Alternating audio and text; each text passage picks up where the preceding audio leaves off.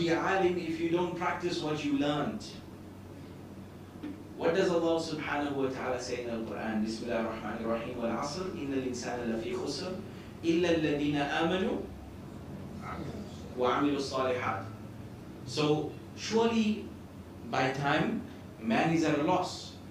We are all at a loss in time. Illa alladhina amanu Except those who believe and do good deeds. You see it says believe and do good deeds, not believe or do good deeds. You're going to understand when you're reading the Quran, Allah subhanahu wa ta'ala is very specific with His words. When you believe and do good deeds. This is knowledge. What you learn, you implement. Don't try and take the knowledge and I mean teach it to others, but don't do it while you haven't been trying to implement it yourself. You don't have to master it, but teach others when you are trying to implement it. You are on a journey to Allah subhanahu wa ta'ala. Your knowledge could be a sin for you, a proof against you, or a proof for you on your al-Qiyamah. Why? If you learn all this knowledge, first and foremost, and you don't practice it, our deen is not a deen of showing off and scholarship that, oh, I need to be the biggest YouTube mufti or the biggest Twitter alim. It doesn't work like that. Allah subhanahu wa ta'ala won't look at how many followers you got and give you rewards based on that. Allah subhanahu wa ta'ala will reward you based on your actions. That's why He says, الَّذِي خَلَقَ الْمَوْتَ وَالْحَيَاةَ لِيَبْلُوَكُمْ أَيُّكُمْ أَحْسَنُ عَمَلًا Allah subhanahu wa ta'ala created life and death to test you which of you will be the best in deeds. Not even the most in deeds, the best in. So if you want to be a good Muslim, you've got to be a good human being. And so therefore, when we talk about learning and practice on that learning, that is what we need to do. Allah subhanahu wa ta'ala, it's written in the hadith, anyway in the Sahih hadith, authentic hadith, that your learning can be a proof against you or a proof for you. What does that mean? If you learn something and you didn't practice it, that knowledge will destroy you. If you learn something and you practice it, that knowledge will make you. See? It's not about being a know-it-all in our deen, it's about being a do-it-all. There's a difference. Right? Why? And that's why Islam stands out in today's time because it's preserved better than most religions anyway. But more than that, it emphasizes actions. You know, in other traditions, you go do what you want and then sing a couple of Hail Marys and then you're done.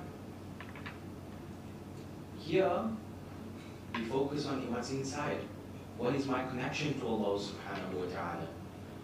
What am I going to wake up and do today to make the world a better place, to make myself a better place?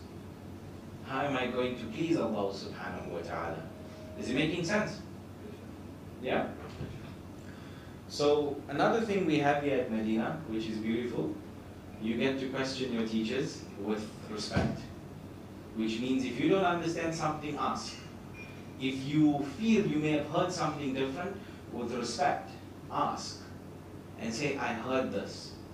Now, one of the things we do with adab, who knows what adab means here? Anyone know? Adab? What does it mean? Manners, etiquette. It means how to behave with Allah subhanahu wa ta'ala, how to behave with His creation. We have etiquettes in Islam. And so, therefore, when you ask your teachers, ask your teachers politely, without a tone of authority, but you are free to challenge and debate. That's why we are here to learn. We are here to express our opinions and learn why they may be correct or incorrect. And we are here to respect difference of opinion as well. So I encourage you to ask me questions. Um, pertaining to um, obtaining knowledge, is it only like specific to Islam or like in general, if you like learn something and you don't like apply what the purpose? Well, obviously it stems to talk about beneficial knowledge, right? Because, I mean, there's not beneficial knowledge. I mean, if you learn, uh, I don't know how to go clubbing, I hope you don't practice on that. You, like, I'm asking like, let's say you need to like learn Like? a skill like a work Right. skill, and like you don't apply it in school. that would be more, so, let me put it this way, your Islamic knowledge that you get, your knowledge about Islam, Quran and Sunnah, you should be practicing. If you learn the skill and you don't use it like diving, Allah subhanahu wa ta'ala is not going to hold you accountable for that. Because that's part of what you want to do as a human being. That's part of what's legally permissible for you. So if you do it or you don't do it, there's no reward or punishment. But if you do it with a good intention, maybe you learn to dive because you want to help environmental issues to save the creation of Allah subhanahu wa ta'ala from dying, you get rewarded. Anything you learn can be put to use in Islam. Any special skills you have. This is the beauty of our deen. From the time you wake up till the time you sleep, you can be in ibadah of Allah subhanahu wa ta'ala.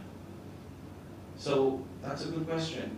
Anything you learn can be used for the sake of Allah subhanahu wa ta'ala, but generally we need to learn and practice Quran and Sunnah. Right? And it's very easy. It's not hard. Allah subhanahu wa ta'ala made certain things fard upon you. Only very few things. Don't kill, don't steal, don't lie, don't drink, you know, don't commit zina, do your salah, zakah, siyam, hajj. Whatever you do extra, as Sayyidina Abdullah ibn Umar said, is only better for you. That's it. Whatever you do extra. How am I going to come closer to my Lord today? Right? And by studying, you are coming closer to your Lord should you implement that, should you have the correct intentions. So what should be my intention when I come here to study at Madina? Anyone wants to try? Because everything boils down to your intention, right? What should my intention be? There are people that go to Islamic uh, institutes to destroy Islam. They come to learn it so that they can take it apart in the inner workings. Is that a good intention? No. So what should be my intention? Anyone wants to try? I said, no wrong answers. Alhamdulillah, I'm tired. My staff people already.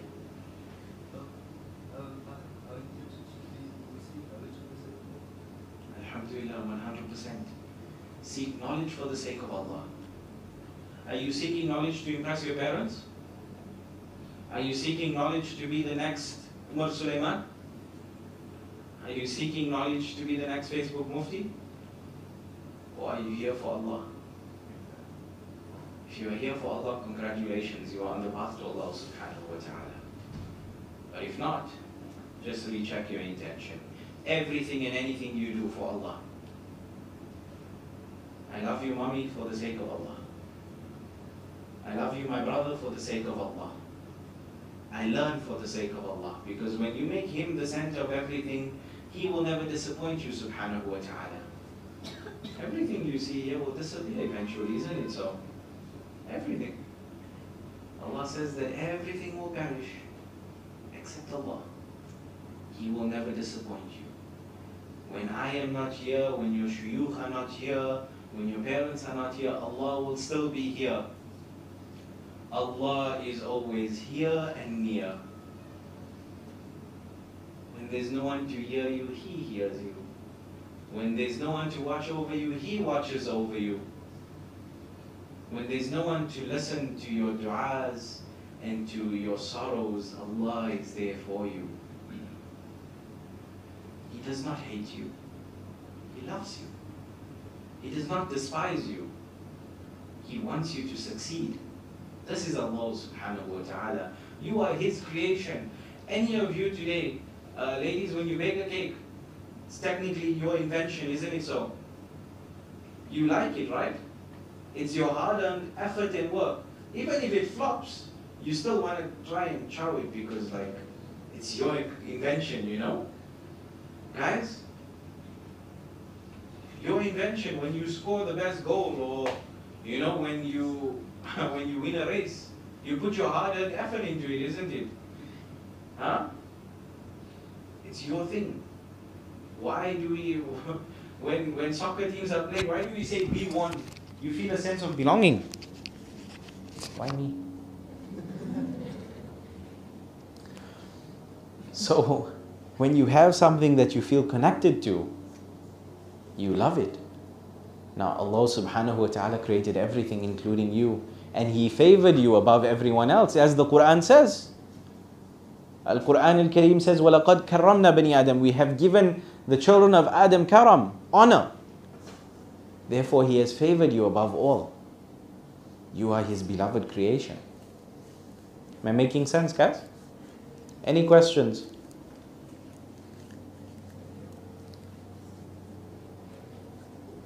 Anything? Again, the only stupid question is the one that you don't ask. That's all I'm going to tell you. You are encouraged to ask. You are encouraged to question. You are encouraged to learn. So, here, we don't just go on our whims, right? We don't go according to this mufti, that, that mufti said, or this great imam said. We go according to Quran and Sunnah as well. So if you want to make a case, for example, and you guys will learn this, I'm not saying it's hard and fast rules, your teachers will go according to how you want to learn or, or your pace, and your teachers will help you. But anything you say, let's try from now on to back it up with Quran and authentic Sunnah. And again, Quran and authentic Sunnah, not weak Sunnah. Right? So if you have something to say, or if you have heard a hadith, or if you've heard something, then think. You, you're more than welcome to ask your teachers. Your, your teachers will give you their method of working with them as well. They also encourage questions, I know, Alhamdulillah. But for me personally, you can ask and we'll work through it together. Right? But we want to be a deen that's based on evidence, Quran and authentic Sunnah. And why is that important? Because anything a human says can be mistaken, there can be differences of opinion. That's why people fight all the time. Isn't it? They say, My sheikh said this, then this one says, My sheikh said that. Meanwhile, they're not even qualified to be talking about these things. Let the sheikh speak about them, they have more respect anyway. But if we say the Quran says this and the Sunnah says this, now what are we doing? We are going back to divine sources, to sources that come that are not eligible to be mistaken. Al Quran does not make mistakes. Al Quran is above perfection. It is the word of Allah subhanahu wa ta'ala. So now it's indisputable fact. Do you see what I'm saying? If we go to the hadith, then we have the words of the most perfect of creation, Sayyidina Rasulullah sallallahu alayhi wa alayhi. This is important.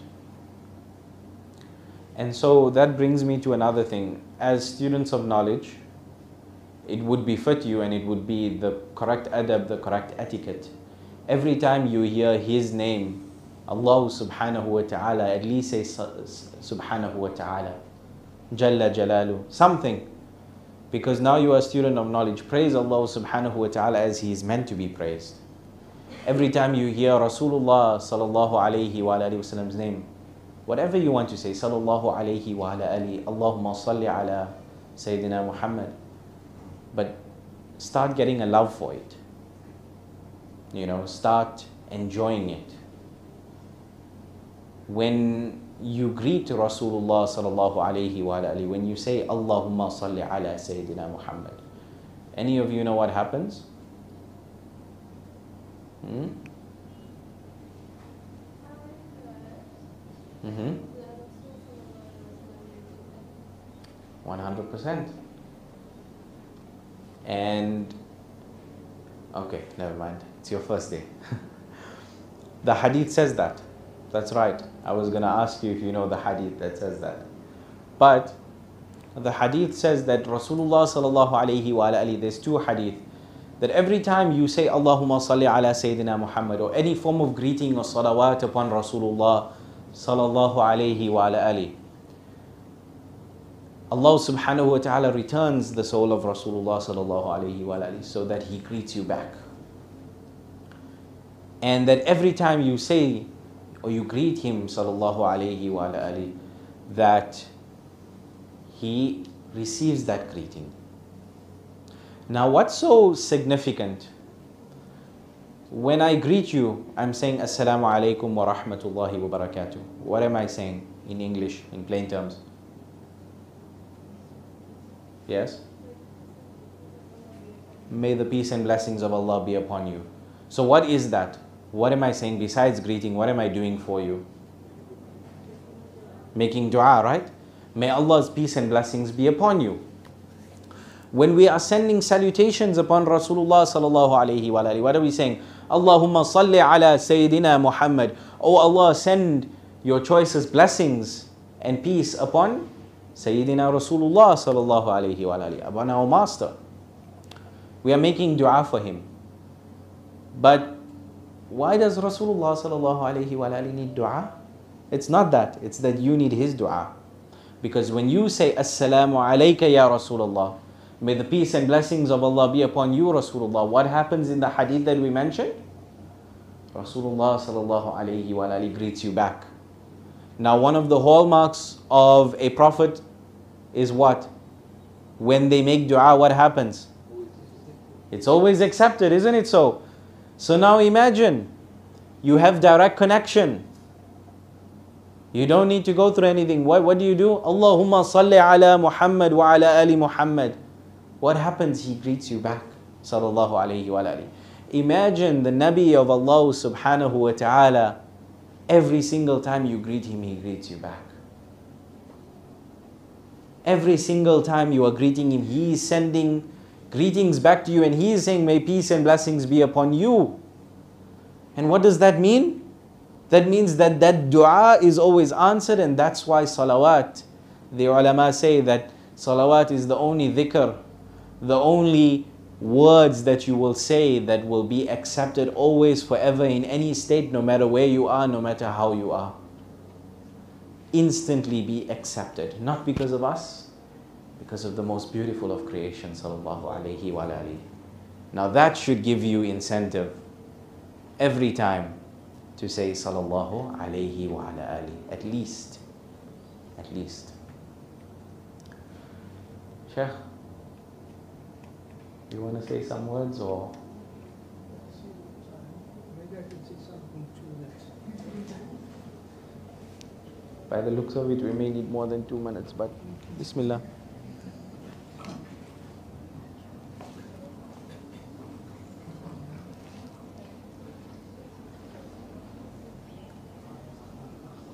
Bismillah, come sit. Hmm? بسم الله الرحمن الرحيم. إن في ذلك لذكرى لمن كان له قلب أو ألقى السمع وهو شهيد. صدق الله العظيم. السلام عليكم ورحمة الله وبركاته. وعليكم السلام ورحمة الله وبركاته. شكرا جزيلا to Sidi Muaz Kala.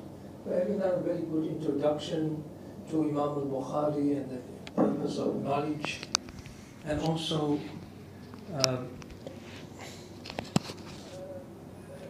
admonishing us on sending salawat to our beloved Rasul sallallahu alayhi wasallam. The ayah I cited is from Surah Qaf. إن في ذلك لذكرى لمن كان له قلب أو ألقى السمع وهو شهيد. Yes, you are all at Madina. Inshallah, some of you want to be here for a year. You may change your mind. You would want to go on further. Others have signed on for three years. We say Alhamdulillah, Thumma Alhamdulillah. I just want to share an ayah. This ayah recited from Surah Qaf. You will remember that sometimes you may have, you will learn more outside. Of course, what your teachers or what responsible shuyukhs and imams than what you would learn in class. And this is what happened to me as a student at Medina University.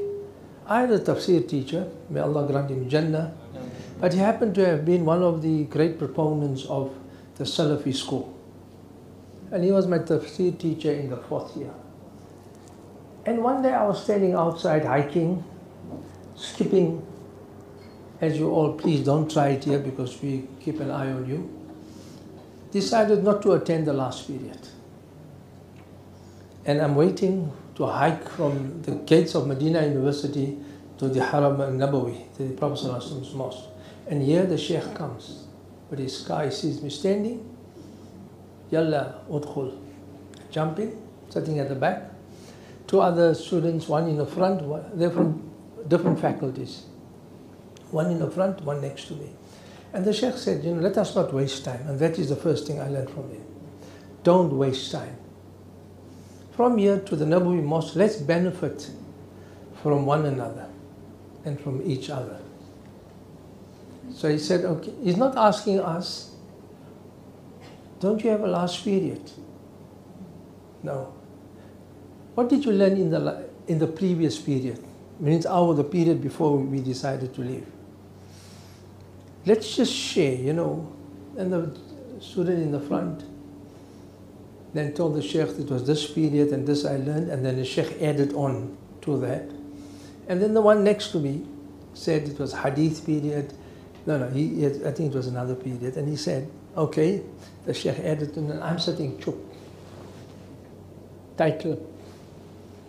And then he said, وأنت يا يا أخ ماذا درست في حصة الماضية? What did you learn? So I said, Wallahi Sheikh, it was, I know it was Hadith period, that I know. But I was busy writing. You are fortunate, you live in a different era. We had to send letters, it takes about two weeks to reach home. And then wait for another two weeks or three weeks for it to come back. I was busy writing a letter, but I just know it was Hadith period. You know, I was writing letters to my family. So then he quoted this ayah. And the meaning of this ayah is you are all here as students, but you have to qualify and meet up with the three conditions in order to gain, to, to maximize your benefit. And this is, think Sheikh is coming. Uh, okay? We will continue when I see you in class.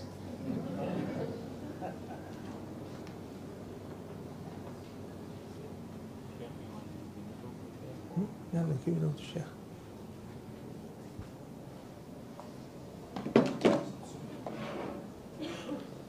السلام عليكم ورحمة الله وبركاته.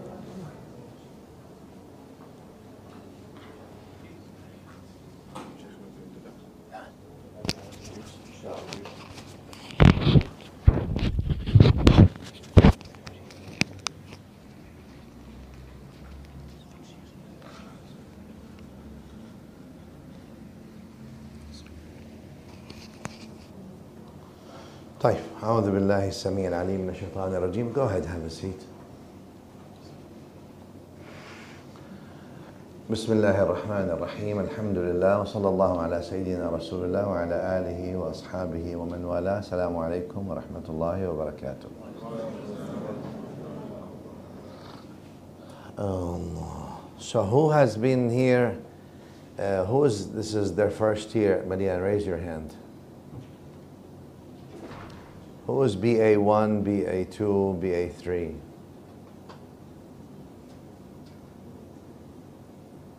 Okay. طيب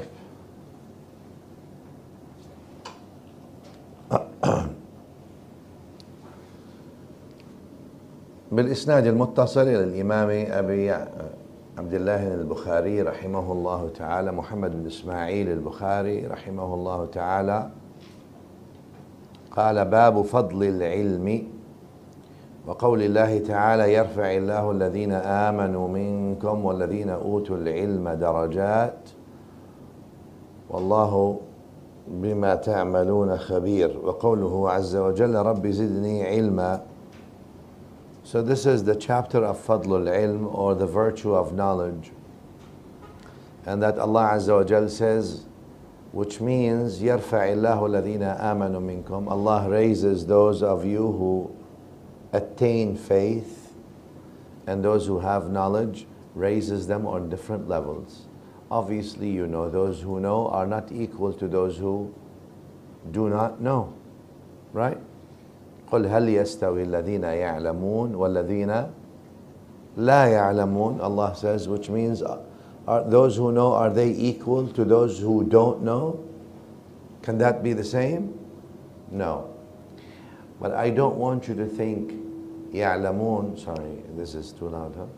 يعلمون, I don't want you to think it's amassing data or the ability to regurgitate, memorize information. That's not ilm, that's ma'lumat. Ma'lumat means information. Ilm means hal, realization. Is that good, Sheikh?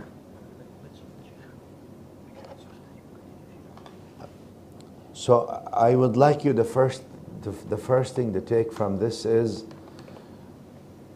to respect yourself and your deen more than reducing it to memorized information. Because that becomes hypocrisy. If you separate orthodoxy from orthopraxy. And no, I'm not impressed. I don't care how much you memorize.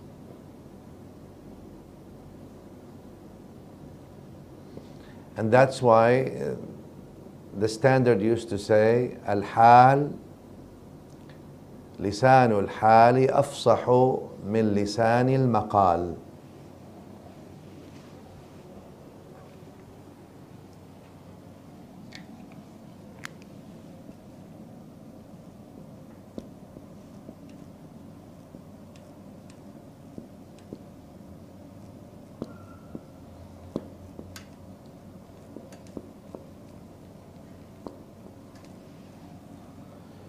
Yani the tongue of your state, of actual state, is much more eloquent than your actual tongue. Let your state speak. The state of that knowledge. You've learned, all right?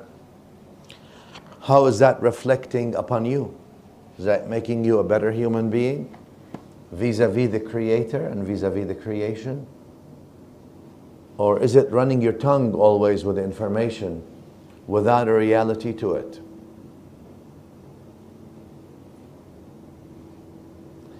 Information may not raise you, nor elevate you. In fact, it might be a trap that you fall in. It might be a false sense of security that you think you have. Hal or the knowledge that becomes a realization, a practice, a practice, a faith, a practice, and a life, that's a beneficial knowledge. That's why the Prophet ﷺ differentiated between beneficial knowledge and non beneficial knowledge. Not every knowledge is beneficial. And I'm not just talking from a secular perspective here, I'm talking also from a faith perspective. And non beneficial knowledge is a knowledge that you don't actually practice, you learn it to show off or to pass a test or so that people can call you, mashallah, he's, she's very knowledgeable. So impressive. Okay. So keep that in mind. And when, as you're studying here at Madina, obviously, you know, I like to call it Madina. I don't like to call it Madina Institute. I call it Madina. And if I hear anyone saying MI, I will personally persecute you. Because MI in medicine stands for myocardial infarction. And you will actually have one if you keep saying that. And you myocardial infarction means heart attack. So say the things that the Prophet ﷺ said. Madina was on the tongue of the Prophet ﷺ. We're honored to repeat that name. Simple. Brings me pleasure that I can I identify with my Prophet ﷺ even on one thing. I'm, you know, I'm going to Madina. I'm coming back from Madina. You know, I'm studying at Madina right? I'm just saying. Uh, Don't do abbreviations with me, I don't like abbreviations. And anyone who puts sallallahu alayhi wasallam as SAW, there will be lots of S-A-C, S-A-W to see for them. That's disrespectful as well. So please, as you're studying here at Madina, try to take a lesson, no matter how small it is, from that knowledge. And by knowledge, I mean only the Quran and Sunnah. Everything else is not knowledge. okay? Your articulation is not knowledge, your presentation is not knowledge, whatever you're doing is not knowledge. Their knowledge is what Allah said and what Rasulullah said. That's knowledge. So get from that, glean, glean from that something that helps your state, that feeds your hal, not that helps you regurgitate. And that's very important.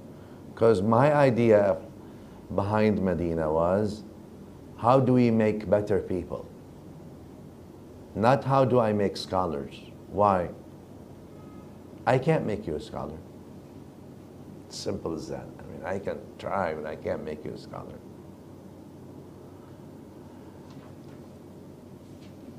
Ilm in Allah comes only from Allah. No one can give that ilm to anyone. Bismillah ar-Rahman ar-Rahim. Allah says, واتقوا الله ويعلمكم الله. If you have taqwa of Allah, Allah will teach you. You have no taqwa, Allah will not teach you. Do you understand? I cannot teach you to be scholars in, in, in Allah Azza wa Jal, about Allah Azza wa Jal, on Allah Azza wa Jal. You never will be. I don't care how much you memorize. You will never be. Even if you eat the books. The only way you will be knowledgeable in this deen is if Allah allows you.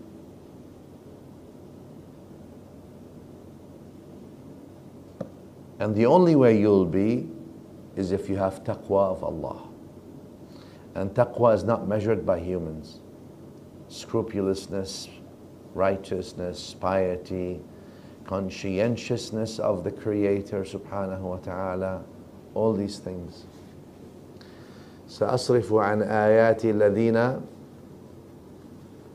and Allah tells us in another verse, I shall drive away from my verses those who are arrogant.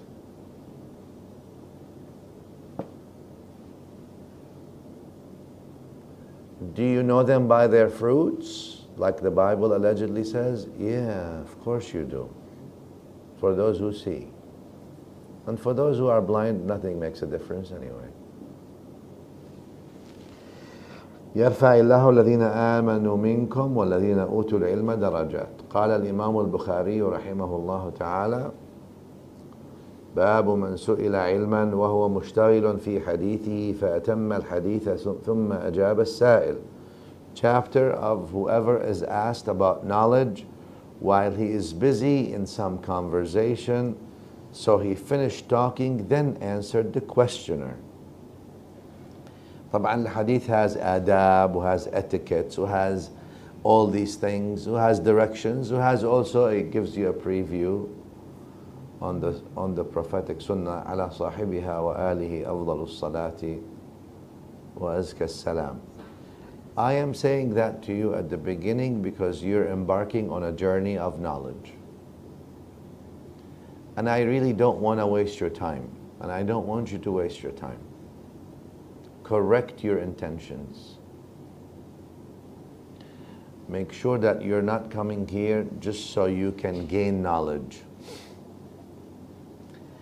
Make sure you're not gaining knowledge so that people say you are knowledgeable. Make sure you're not gaining knowledge so that you stand out. because you never will actually gain any true knowledge. You'll be a parrot of information, no knowledge. And for those who read well, not impressed. Because you can't bring anything new. Allah does not give you tawfiq or facilitation you will not impress those who know or those who are well read to say the least. So that's why I'm re-emphasizing that. الإسناد المتصل إلى الإمام محمد بن إسماعيل رحمه الله قال حدثنا محمد بن سينا بن سنان قال حدثنا فليح آه وحدثني إبراهيم بن المنذر قال حدثنا محمد بن فليح قال حدثني أبي قال حدثني هلال بن علي عن عطاء بن يسار عن أبي هريرة قال بينما النبي صلى الله تعالى عليه وآله وسلم في مجلس يحدث القوم جاءه أعرابي فقال متى الساعة؟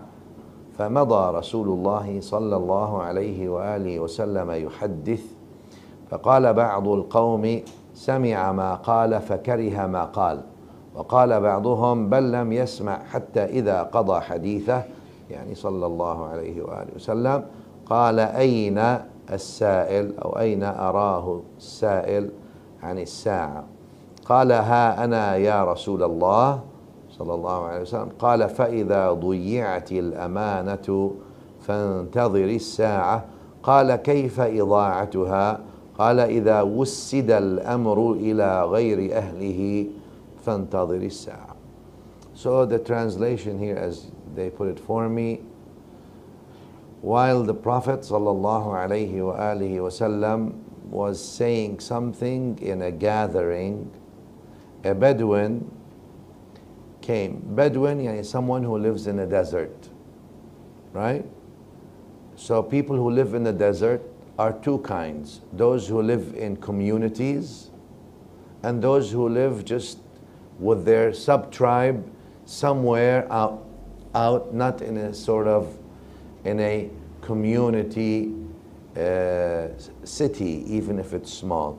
So those, the Arabs who lived outside of cities in the desert are called Bedouins.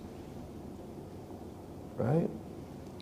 So a Bedouin came to the, to the Prophet wasallam and asked him, sallallahu alaihi wasallam, when would the hour take place? متى الساعة? When would the hour take place, Ya Rasulullah? Yani when would the day of judgment take place? When will a qiyamah happen? And I don't know what was in the mind of that Sahabi or that Bedouin, yani. Maybe in his mind was the Prophet ﷺ would give him a specific date, year so and so, month so and so, day and so. When it, so that means we're thinking the hour may happen a good thing for us.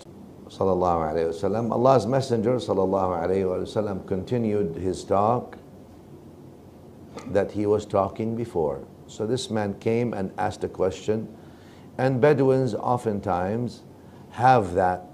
Yani people are talking, they come and they just talk, right?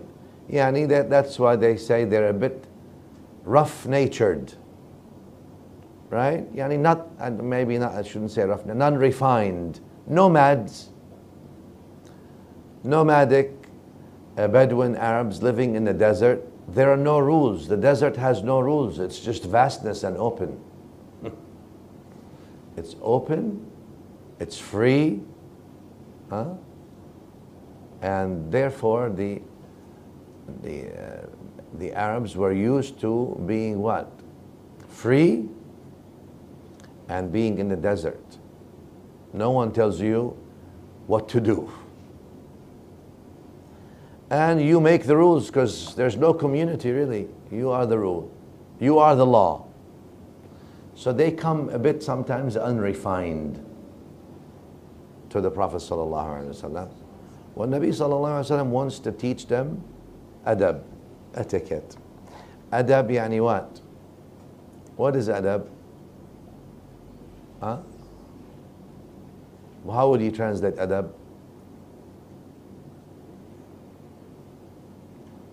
Somebody to translate for me, yes, sir. Etiquette, I gave that answer. Give me another one. What's adab? Yes. Manners, okay, that's good, yes. What else? Good conduct, also good, yeah. What else? What, how we would say, how would we say adab?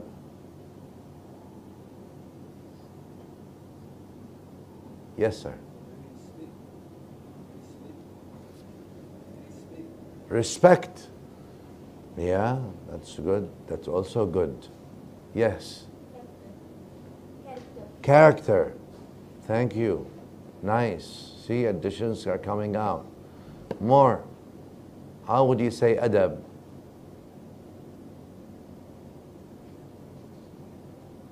All that. Yes, ma'am. Morals, ethics, humility, simplicity, lack of arrogance, let me say so also. So we understand what do I mean by humility. You keep saying it. Arrogance, arrogance, arrogance. I'm saying that for a reason. Allah rejects you and your arrogance if you're arrogant.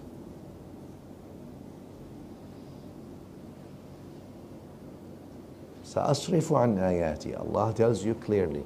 So I, I, that doesn't mean that you become a mat for everybody to step on. But it means that you conduct yourself prophetically as much as you can. All right? So, and that means an observation of your creator. So refinement is more important to me than ilm. Meaning, would you rather deal with someone who is knowledgeable but arrogant? Let me say, rephrase that. Would you rather deal with someone who has information memorized but arrogant, or someone who has very little knowledge yet humble? To whom does your heart open? It's no question, is it? There's no question. The other one makes you sick. Literally. Huh? There's a riwayah that's not authentic to Ibn Abbas. That when he, when some students, obviously he's an imam in his time. Ibn Abbas is an imam in his time. When some students sit in his circle and he sees their arrogance, allegedly he would raise his hand to dua to Allah and say, رَبَّنَا اكْشَفْ عَنَّا الْعَذَابِ إِنَّا مُؤْمِنُونَ Ya Allah, I'll take away adhab, punishment from us. We believe in you. Because it's, it's torture. It's torture of the self. You're tor- miskeen, you're torturing yourself and you torture others with that.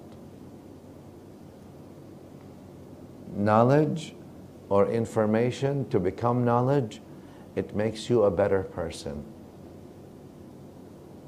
I call it sometimes strive to, for simplicity. Strive. Actually, you have to strive for it. Because our nafs calls us exactly for the opposite. And we need to strive for simplicity.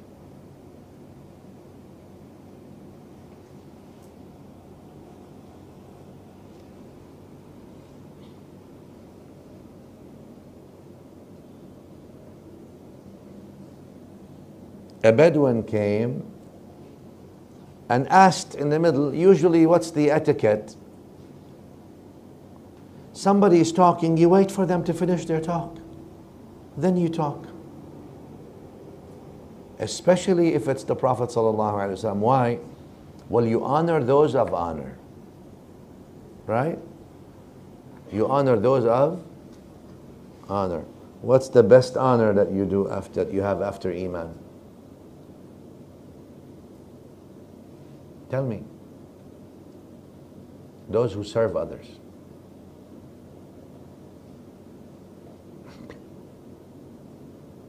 Not those who want to be served, those who serve, selflessly serve. Those you honor. If you're honorable, you'll honor them. If you're honorable, you will honor those who serve. If you are honorable, you will honor those who selflessly serve. Again, it's very important. But if you don't know, the Prophet ﷺ teaches, right? I mean, the Sahabi is learning because this is their culture in the desert, out.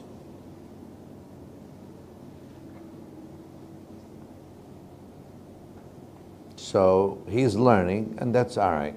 Sometimes different cultures stipulate different things. Maybe he's a big man in his tribe in the desert. So a big man everybody listens to. Well, you know, maybe you, you learn then when it comes to knowledge, uh, we all are learning. Nobody's big. What's the first thing in knowledge? When you learn, what do you learn? You learn how much you don't know.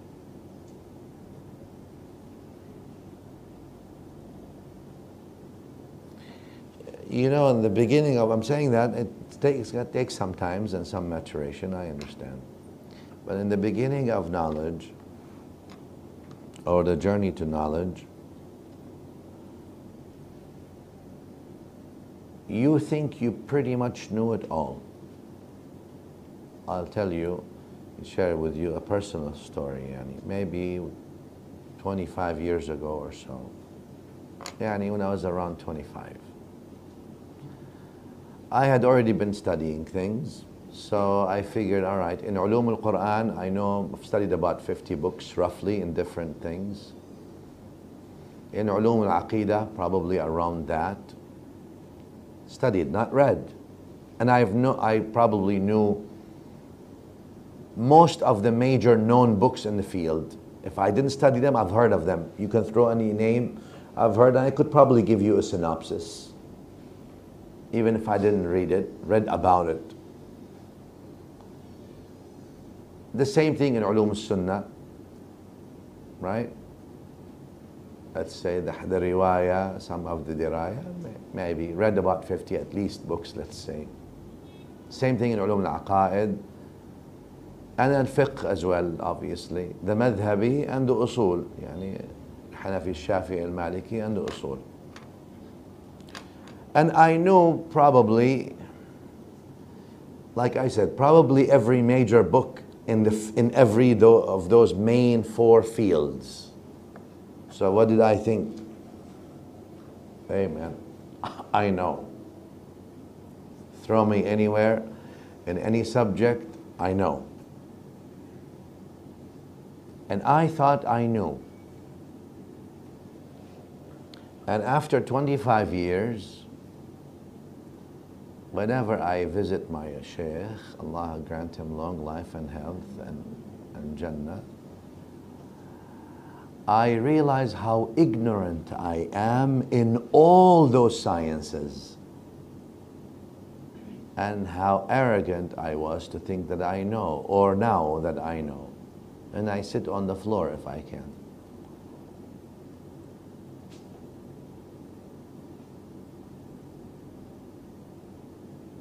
I'm not trying to give you a modest story about myself. Allah is my witness, it's the truth.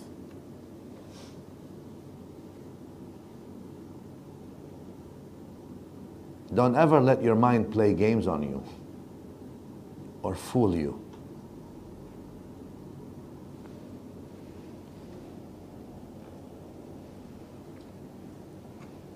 And in addition to the adab, I say, man, I, I can't Take someone who loses little adab, and here I have almost no adab with the shaykh, and he still accepts. I'm just saying. So when you learn, let yourself appreciate your own ignorance. So it keeps you in perspective. Every single one of you, every single one of you that's sitting in front of me right now, yeah, yeah because it keeps falling and all this. You take this, this all new technology of yours. Aywan, you put all that as if we're sitting in a coffee shop.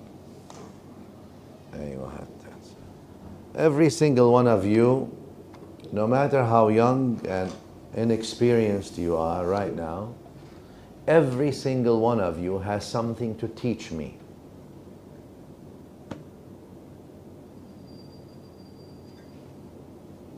Every single one of you knows something I don't know. I don't know. I don't care how young you are. And I reckon that there's something that every one of you knows that I do not know. So I'm not here really to tell you that I am the master of knowledge. I'm here to tell you that I may have studied for few decades something that I will share with you. And it's not that I know it, it's the words of the teachers, of the teachers, of the teachers, of the teachers, to the great teacher of all. Sallallahu Alaihi Wasallam. So, yeah, no, it's not my product.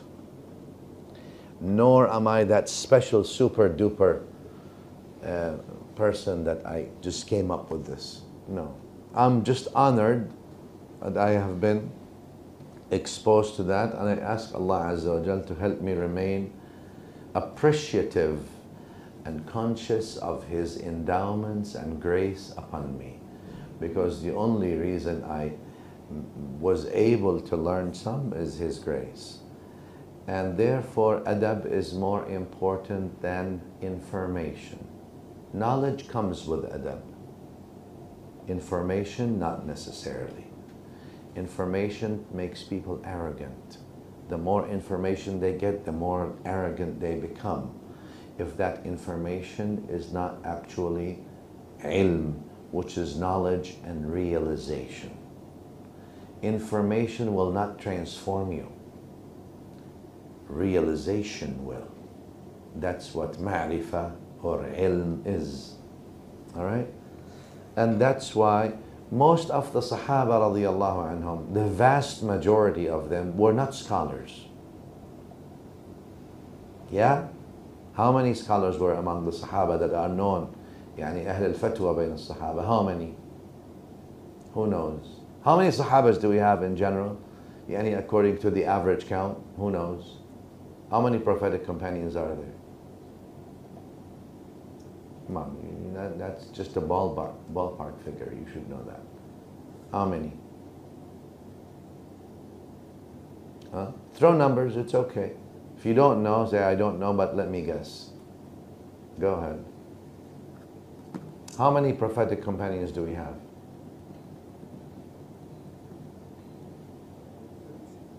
Huh? Guessing 36. 36 of them, or 3,600, or 36,000, or 36 million? Just 36. Allahu Akbar. Yes, sir. In the back. Were you trying to raise your hand? Yes. Sheikh, wasn't it on the order of 100,000? 100,000. No Google, huh? No Maulana Google business. All right. 100,000. We went from 36 to 100,000. That's a considerable leap. All right, who says more or less? Come on. How many Sahaba do we have? How many prophetic companions? Go, go. Yes, sir, in the back. Huh? 75? 70,000? Yes, Sheikh Fadal.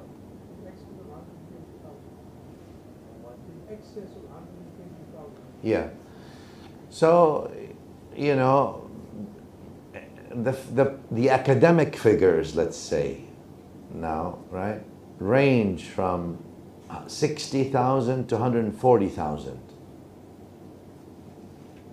Right? There were no sense, census that those days, so it's estimation how many people were in the final pilgrimage, and then add to that the tribes and etc. It's just estimation. So the least conservative probably, mean, like Ibn Hibban, 60, and maybe 140. And maybe some people like number 114 for whatever reason. So let's just say 114,000 just to take an average thing. 114,000 people, because the whole nation was prophetic companions, right? Everybody was a companion in a sense. Anyone who saw the Prophet was a companion in our understanding. Okay, very nice. How many of those 114 were scholars? 114,000 were scholars? How many people were people of fatwa yani? Fatwa meaning knowledge, not mufti, right? Yani of ilm. How many would you say out of 114,000? Anybody knows? Anybody has an idea? Yes. Yeah, no more than 10. Six, seven, eight, depending. Al-Baghdadi mentions seven, the Dahabi mentions, etc. So it's not knowledge in the sense of amassing information and becoming scholars beyond the basic needs is what makes you a better person. It's the adab and the akhlaq what makes you a good person. All you need is very basic knowledge you can learn over two days. That's good enough for the rest of your life in Islam. But your akhlaq and your adab is what makes you a good person. The vast majority of the Sahaba, they're all good and they were not scholars. Are we on the same page there? So sometimes you see the ahadith and you see eh, that's a bit maybe abrasive, you know, coming and asking like this. But the Prophet is also amongst his jobs is to teach adab, teach, ed- educate, and that refine. Um, so this uh, Bedouin came and asked the Prophet ﷺ, when would the hour be, take place? Allah's Messenger wasallam, and when you always as students of knowledge, whenever you hear the name of the Prophet wasallam, you make salat and salam on him, right? Now you're aware. You're not just like any, let's say, unlearned people. You now are aware. It's not to compare you to unlearned, because those unlearned people may be better than you and me together. But it's just that your awareness should make you understand that when I hear the name of the Prophet, I say Sallallahu Alaihi wa Wasallam. That's adab and knowledge, both. All right. But if you're given a choice between adab and knowledge, what would you take? Absolutely adab. No question about it. No que- adab. The other one is adab. It's torture. Wallah adab. Torture, torture. Torture. Somebody who has information and thinks it's knowledge. Because and they're obviously they're arrogant. That's the the first, the main sign about it. it is torture. Ya Rab. طيب. That's why Allah wa Jal tells the Prophet sallallahu alayhi wa alihi wasallam what? واخفض ها واخفض جناحك للمؤمنين lower your wings to the believers right that's not humility I don't believe the Prophet ﷺ is attributed with humility it's not a prophetic attribute for us yes not for him lowers his wings. Right? There is no da'ah fihi sallallahu alayhi wa that he needs tawadu. But he lowers his wings to the believers. We need to have tawadu. We need to have humility. That's another attribute, that's another question. Right?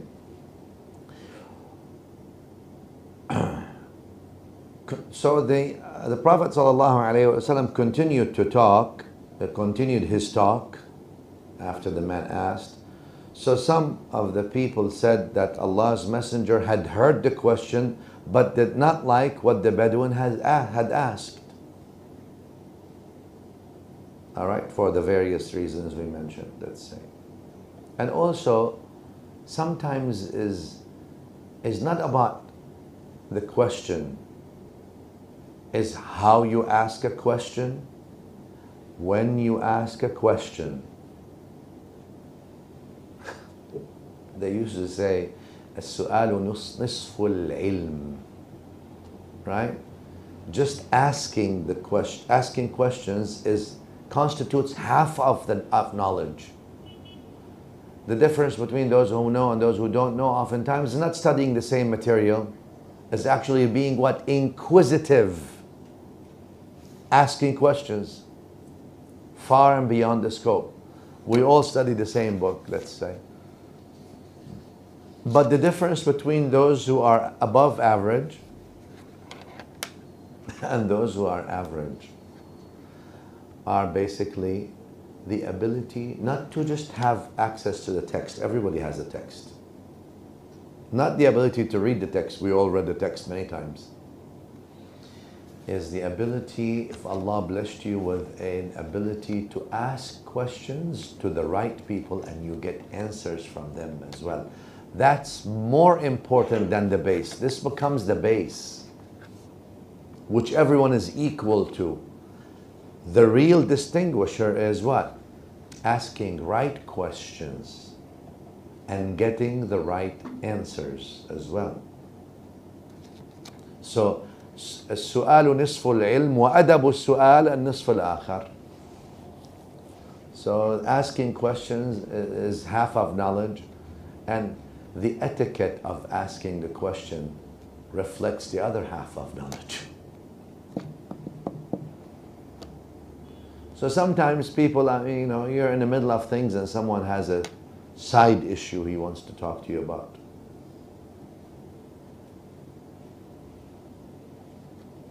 ذوق, etiquette, adab, right?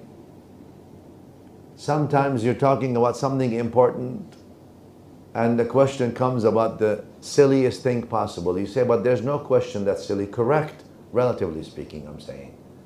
If something is extremely important and you come and you want to talk about other things now, فهم, understanding, فقه ذلك بأنهم قوم لا يفقهون القرآن الكريم says about the kuffar the reason they lost it's not that they're not equipped the basic fahm is not there these people don't they're- ذلك بأنهم قوم لا يفقهون ما- ما- ما- there's, no, there's nothing here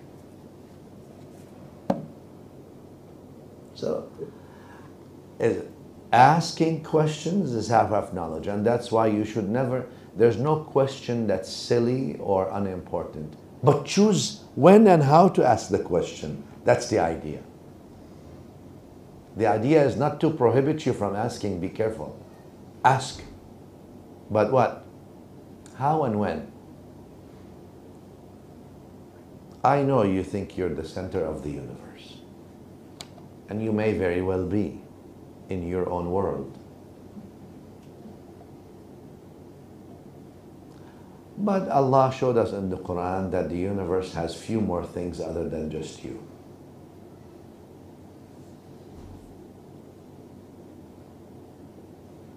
So Nabi sallallahu alaihi wasallam is speaking, the Bedouin comes and tells him, when is the day of judgment? When is it going to happen? And Nabi sallallahu alayhi wa sallam continued his talk. It's not ignoring as much as educating.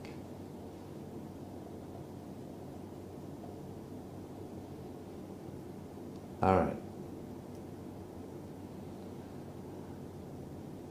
So some people said that the Prophet ﷺ had heard the question but did not like what the Bedouin had said.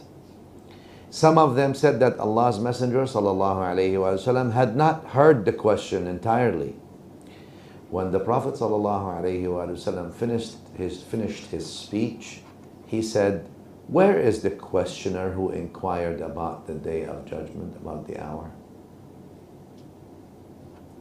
The Bedouin said, Here I am, Ya Rasulullah. Sallallahu alayhi wa sallam. Then the Prophet ﷺ told him,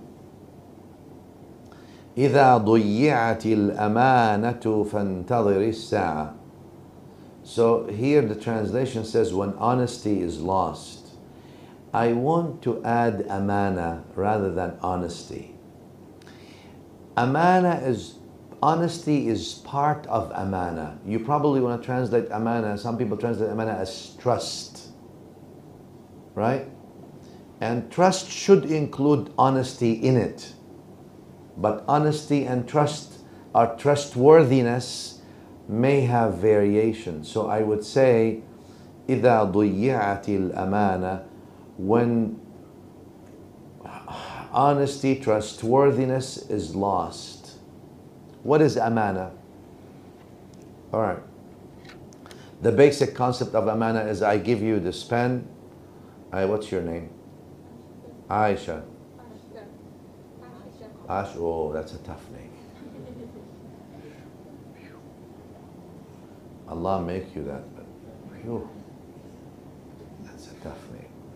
He said, no, ishq is different than love. If you say ishq,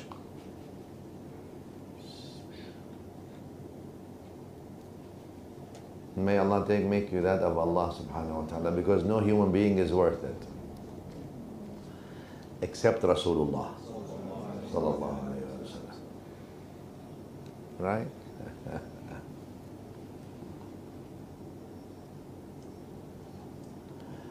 Allah. So I give, what's your name, Sheikh? Abdullah. I give Abdullah, it's easier, I can deal with that. Because ishq is way higher than my pay grade. I'm still trying to figure out love. So.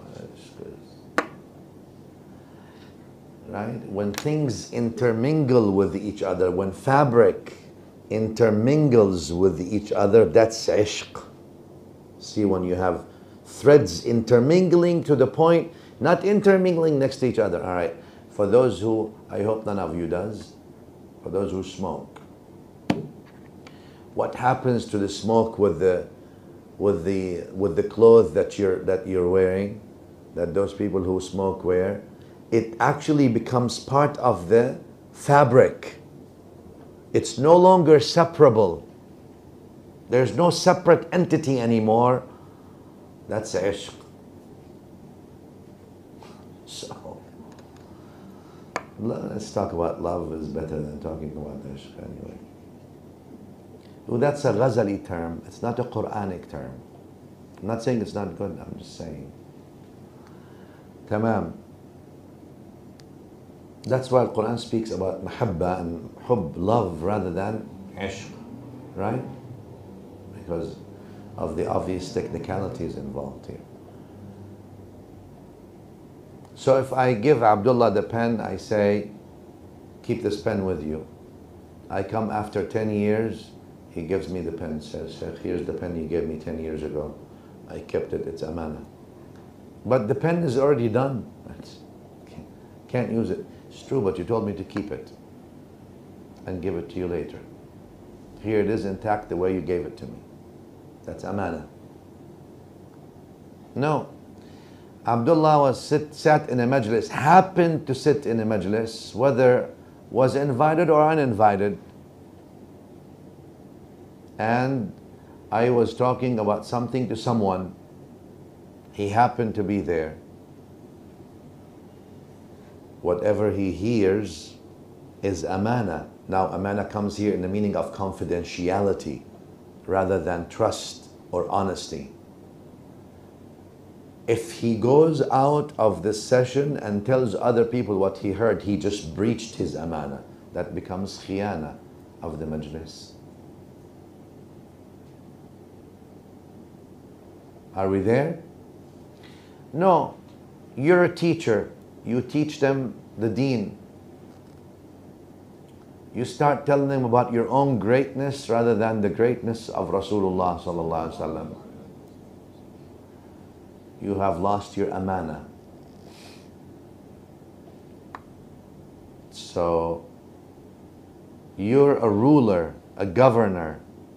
You don't govern uh, in, in decent ways. You don't have amana. So notice amana means lots of things. No, no. Your very deen is amana in every one of you. Your children, your parents are amana. Your neighbors are amana. Society is an amana. Not cheating work is amana. Not cheating at school is amana. Studying at school when your parents send you to study is amana. And not studying is exactly betrayal of the amana. But your whole deen as a system is amana. The Quran Sunnah is amana in every neck of yours. Allah made it amana. إنا عرضنا الأمانة على السماوات والأرض والجبال.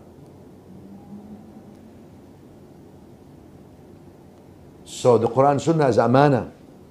It's a trust that Allah put with every single person. Tfaddal. Here you go, take. Carry the amana. So I don't want to translate the word amana as the translation here that says honesty. It's way beyond honesty. Some of the aspects I just mentioned to you here. So, and Nabi wasallam told the man or asked, where is the questioner who inquired about the timing of the hour or the hour? The Bedouin said, Here I am, Ya Rasulullah sallallahu alayhi wasallam. The Prophet sallallahu alayhi wasallam then said, When the amana is lost, then wait for the hour. when when you give people trust they're no longer when you put them in places of trust they're no longer trustworthy. They don't carry it with amana. When you give people an actual material amana and say keep it they don't keep it. When you place them in positions of responsibility and they don't uphold it right when uh, uh, the quran and sunnah no longer are treated as amana. When ethics are no longer observed, so people cheat, lie, and steal whenever they can, not observing that, that's when the amana is lost. And when that happens, then you shall just wait. Now it's a matter of waiting when the hour will happen. And you don't want the hour to happen on you.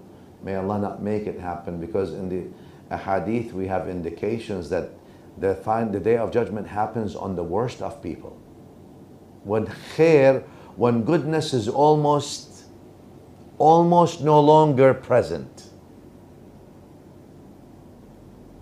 So that's why the more you participate in positive contribution, meaning by positive selfless, the more you may actually in effect, if yani that is to be said in a way, if it's applicable to uh, say, you delay that time from your time.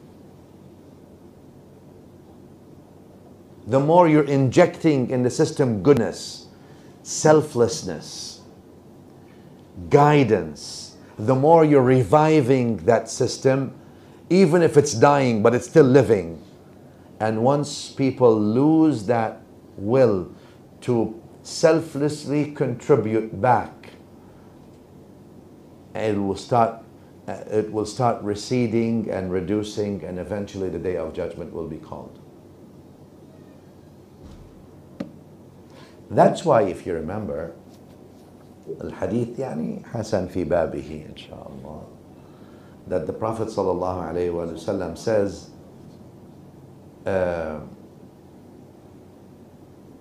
if the Qiyamah is called now remember Qiyamah is only called on the most evil of times most evil of people right the total there's goodness is almost no longer there almost there's always going to be some but when Qiyamah happens, there's no more good, there's no more life now.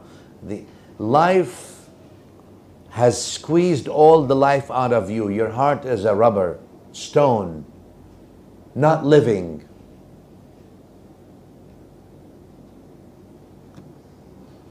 So Qiyamah happens on the worst of people, in the worst of times, most difficult in the sense of there's no more selflessness. Khair is not much. Okay. So this hadith tells us what? If the sa'a happens to be called in your time, وَبِيَدِ أَحَدِكُمْ فَسِيلَةٌ And one of you has a, a small baby palm tree. Fasila is a small baby palm tree, right? Ba- palm tree becomes really big. We have palm trees at the Madina Belgravia campus, but I wish they were date bearing palm trees. You know, oh, would have been very nice. You know, then we can send some people like Abdullah bin Mas'ud to climb on the palm tree and bring us some dates, you know, or Salman Farsi or somebody. you know. Anyway, but better palm trees that know than other trees. It gives me the sense of Medina. I go and I see a palm tree, I say Subhanallah. It reminds me with Medina. I'm originally a desert boy, so it's okay. I don't mind the desert. I like it. Desert is freedom. وَالسَّمَاءِ وَالطَّارِقِ There is nothing. There is heavens and there is desert. Right? Maybe sometime we should make a, an attempt to take everybody to the desert for a few days. No water, no electricity, and yes, no smartphones. I mean, or dumb phones, whichever you like to call them. Nothing.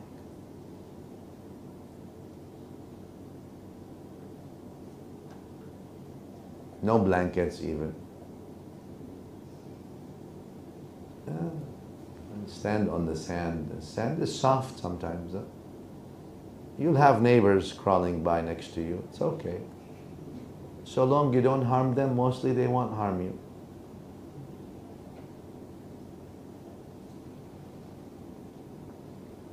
It's a good experience for a few days.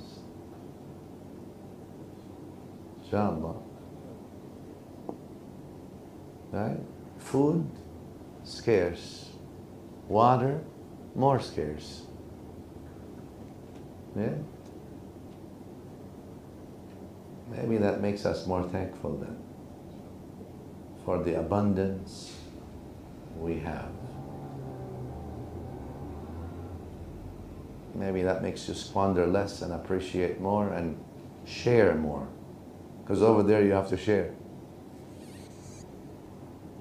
There are these things, huh? people send them. I think we've sent a batch of students from, uh, I from the University of Georgia to the desert in Morocco, southern, southern Morocco. So, you know. Anyway. So, uh, the Prophet ﷺ said, when the amana is lost, then wait for the hour. One, meaning what now? Akhlaq is lost. Right? When the akhlaq is lost. When trustworthiness is lost. When faithfulness is lost. When truthfulness is lost. All these are amana. When the Quran and Sunnah are marginalized. When the prophetic figure is replaced by other figures then you shall await then you shall await the hour the bedouin said how will that be lost how will amana be lost the prophet sallallahu alaihi wasallam said إذا وسد الأمر لغير أهله the translation said when the power or authority comes in the hands of unfit person then wait for the hour. What I will, the way I would translate it is when the wrong person are in the wrong place. You just want to be in that place because you want, not you belong. Hmm. You just want. Yourself wants. You don't belong.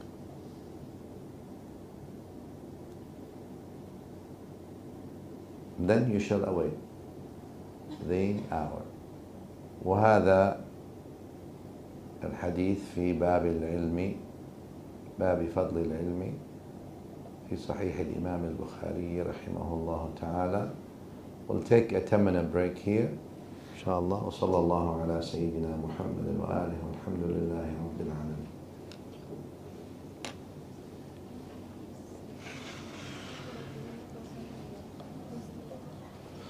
يا رب.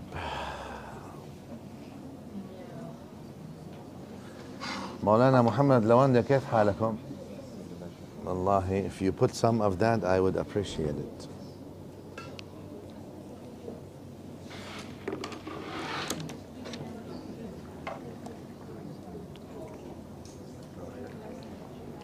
أيوة الحمد لله.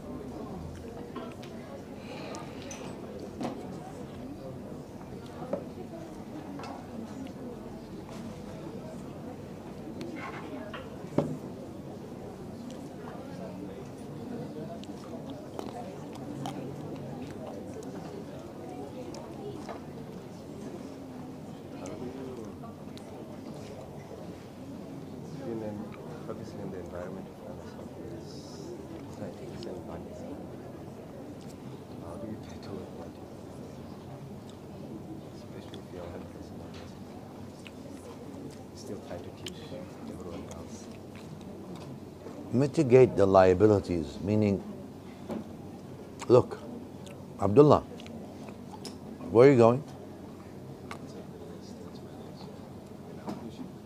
He wants to stretch his legs. The man is thinner, thinner than a stick.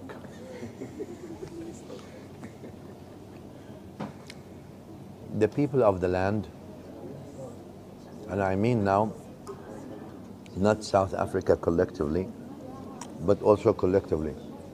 But the people of this land, the Xhosa people, the other people who are ancient tribes of this land, have a haqq and a right over us.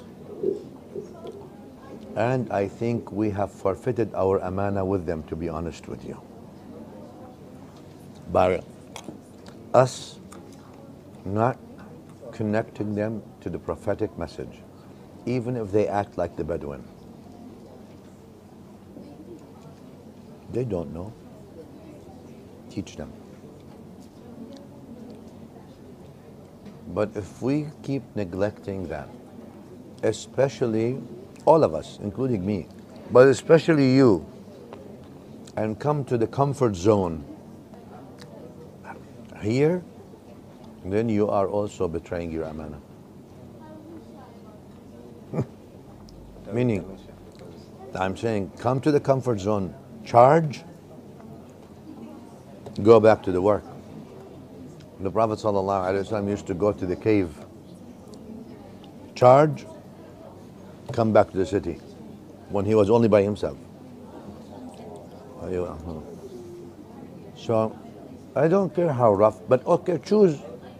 Okay, there's rough, rougher, roughest. Choose. But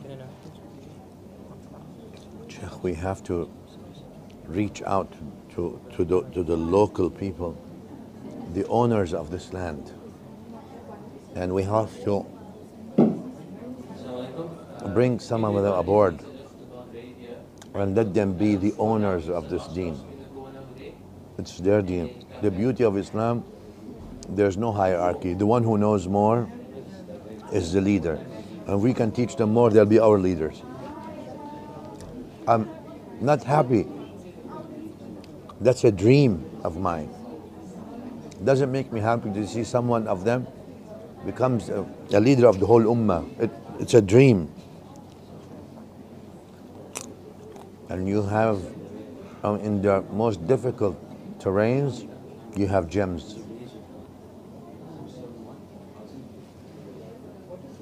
Those gems will surprise you.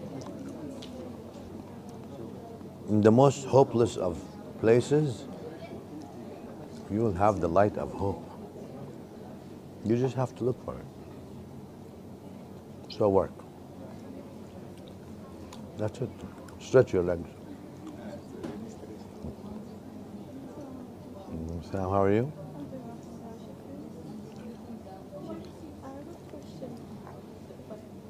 I'm getting old, okay. so my hearing is not the best. I have a question that's um, separate from Buddhism. Uh, it's regarding the possible internship in Turkey. Is that happening? It would be possible. Ar-Rahman ar-Rahim. الحمد لله وصلى الله على سيدنا رسول الله وعلى آله وأصحابه وأزواجه وذرياته ومن والاه. We're on the third chapter. باب من رفع صوته بالعلم. A chapter, chapter of whoever raises his voice in conveying knowledge. بالإسناد المتصل للإمام محمد بن إسماعيل البخاري رحمه الله قال حدثنا أبو النعمان عارم بن الفضل قال حدثنا أبو عوانة عن أبي بشر عن يوسف بن ماهك عن عبد الله بن عمرو قال تخلف عنا النبي صلى الله تعالى عليه وآله وسلم في سفرة سافرناها فأدركنا فأدركنا وقد أرهقتنا الصلاة ونحن نتوضأ فجعلنا نمسح على أرجلنا فنادى بأعلى صوته صلى الله عليه وآله وسلم ويل للأعقاب من النار. مرتين أو ثلاثة. The translation here on the authority of Abdullah bin Amr He said once the Prophet ﷺ remained behind us in a journey. He joined us while we were performing ablution for the prayer, which was overdue, right? We just we were just passing wet hands over our feet and not washing them properly. So the Prophet ﷺ addressed us in a loud voice and said, Twice or thrice, save your heels from fire or from the fire. This here, obviously, Bukhari rahimullah puts it under the chapter of raising voice and conveying knowledge because it's important, right? So people hear. But the hadith has also multiple benefits and all that, right? So, uh, when doing part that's connected to the hadith before it, right? The hadith before it was what? About the amana, right? Al amana. We mentioned that your studies as a student is amana. Your time is amana. What do you mean time? The time. Time that Allah gave you, your life, that's amana. Make sure you treat it right, amana. All right? Um, your, uh, we said your, you, the whole deen is amana. You being a child in a family, your family is amana. You being a parent to, to, to uh, kids, your kids are amana in your neck, etc., etc., right? So you being a ruler, that's amana. You being a, set- a judge, that's amana. Amana is a very wide concept. All right. Among the amana is what? That if you do something, you do it good. الحديث ضعيف لكن the meaning is there إن الله يحب إذا عمل أحدكم عملا أن يتقنه allegedly the Prophet ﷺ said that Allah loves if one of you does something that you do it well. Well, Allah puts it in the Quran, right? قل اعملوا وقل اعملوا فسيرى الله عملكم ورسوله والمؤمنون. Do so, do, not talk, do. Allah will see what you have done. So it means do well. That's why Allah Azza wa Jal tells uh, alayhi salatu wasalam in the Quran, اعملوا آل داود شكرا. O family of Dawood, do good deeds as a form of gratefulness to Allah So it has to be on that level, right? So here the Sahaba radiallahu anhum, as Abdullah bin, bin Amr is saying, that, uh, you know, we're hastening in our wudu real quick. Yallah, huh? And even in the salah, بسم الله الرحمن الرحيم الحمد لله رب العالمين الرحمن الرحيم مالك يوم الدين إياك نعبد وإياك نستعين اهدنا الصراط المستقيم there's, there's no lion that's chasing you. So take it easy a little bit. I'm not saying you have to spend an hour if that if you don't want to, but take it easy a little bit. Say it so that you live it. Al-Fatiha specifically. And then also when it comes to the wudu, he says we were just wiping wet hands, passing wet ha- hands over the feet. And you're supposed to wash your feet. Wash your feet. And all that comes into the sense of amana. The amana is to do a good job, not to do a haphazard job. That's amana. You can't do it, let someone else do it. You don't have the time, you have the willingness, but you don't have the capacity. Okay, great, then let someone else do it. That's amana. Right? Uh, this is not something that you know. So, uh, part of the amana here is also raising your voice and knowledge, which means what here? Being able to convey to everyone. Conveyance to everyone, that's amana, because it's amana for them to know. It's amana for them to carry. And it's amana for them if you do something, you do it right. Yani, you as students, you'll have exams coming up.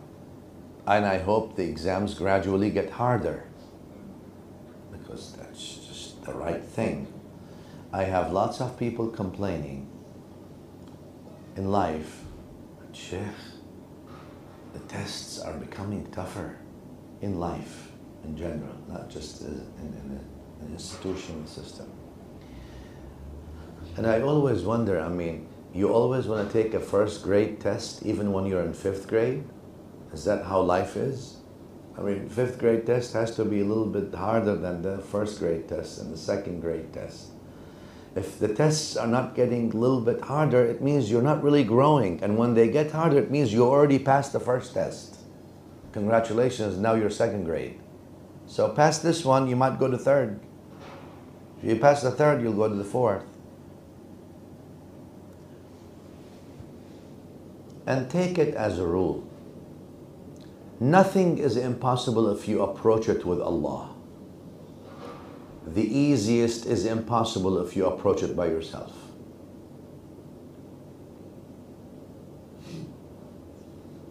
Nothing is impossible if you approach it with Allah. You want to study?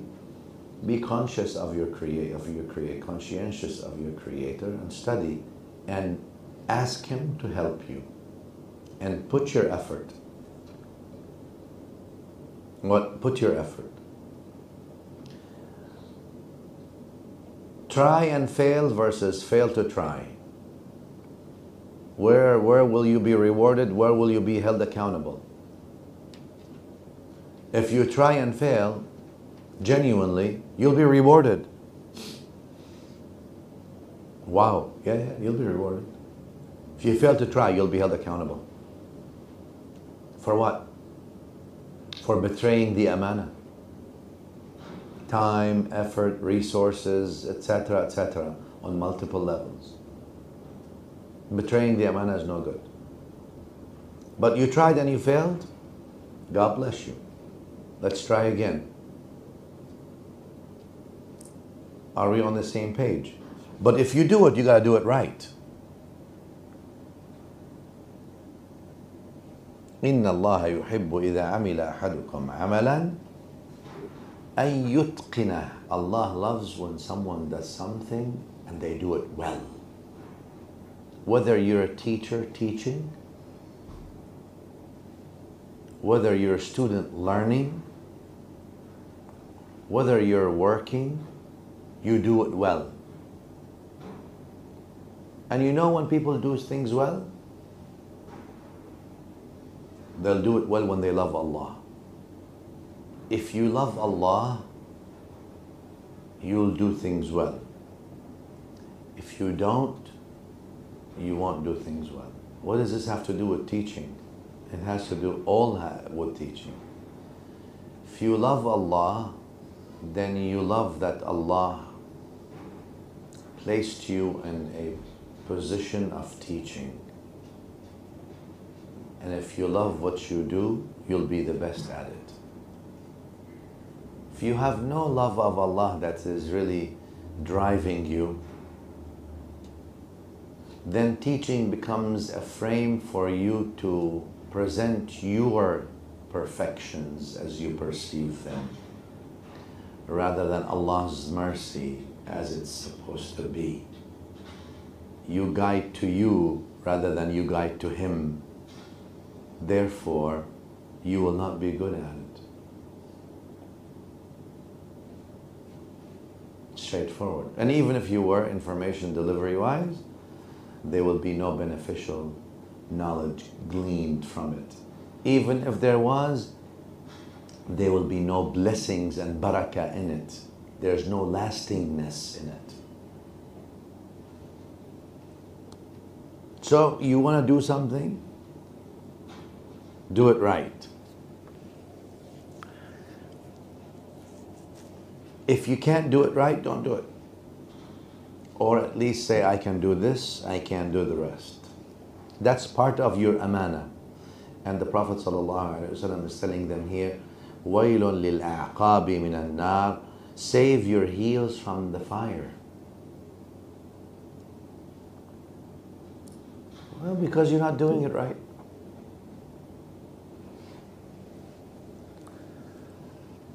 All right, so I want to uh, uh, put a point here in our understanding and mind that a person of faith, a Muslim, if they do teaching, they ought to strive to be the best teachers.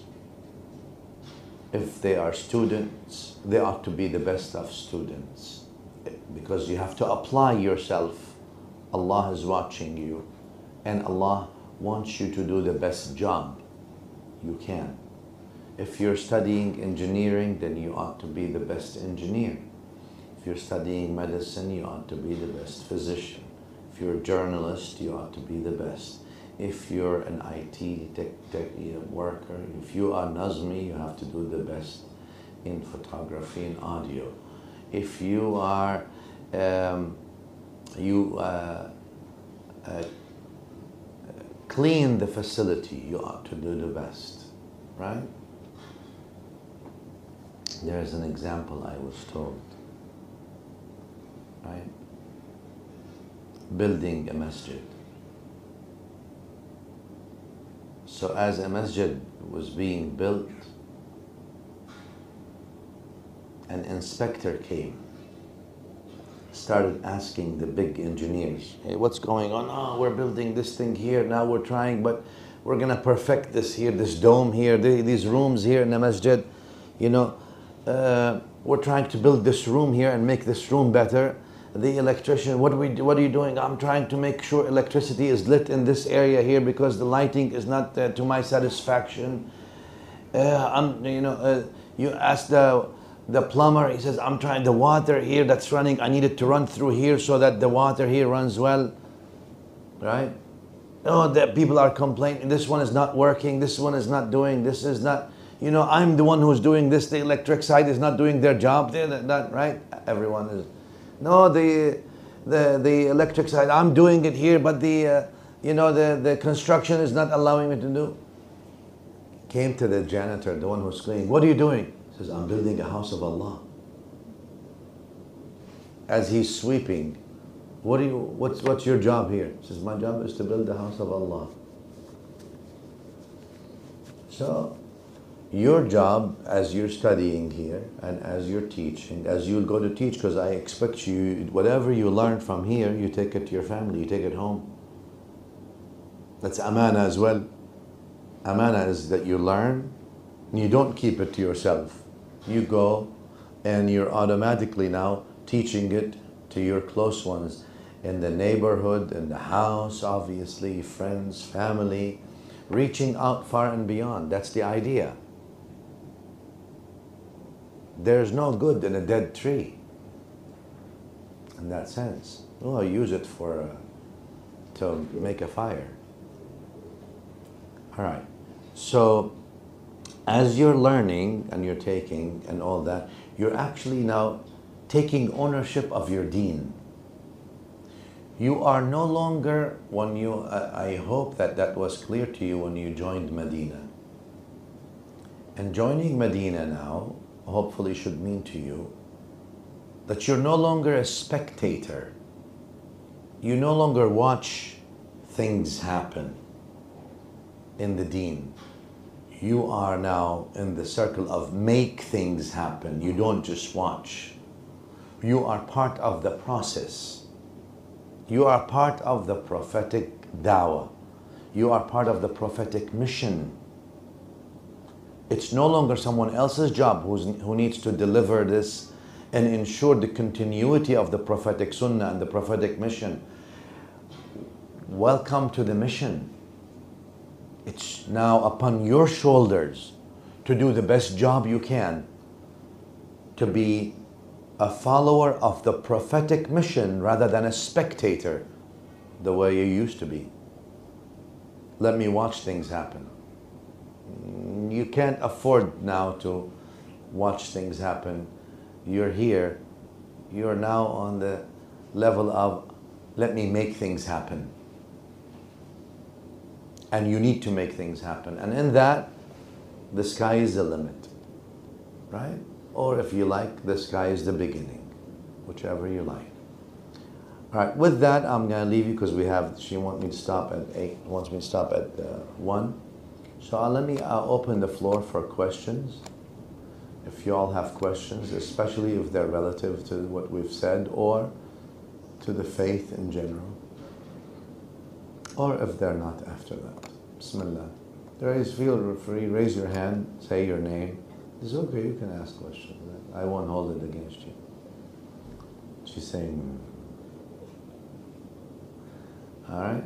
So um, if you have any question, comment, or concern, uh, go ahead, or especially, like I said, if it's relevant. Raise your hand, tell me your first name. Yeah, who's going to be the brave one that breaks the ice in the first, uh, in the first attempt? Yes, sir. I see a brave hand. Alaikum salam wa rahmatullah. Ahlan Muhammad. Nice name. Sheikh, can you please We share the same name, Sheikh. talk about the difference between ma'rifah and ilm? Yes. The definition and how to go from ilm to